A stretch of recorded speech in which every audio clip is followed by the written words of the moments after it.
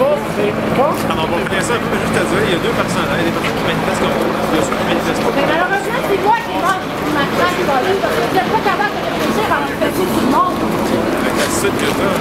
Ouais, continue de faire rencontrer.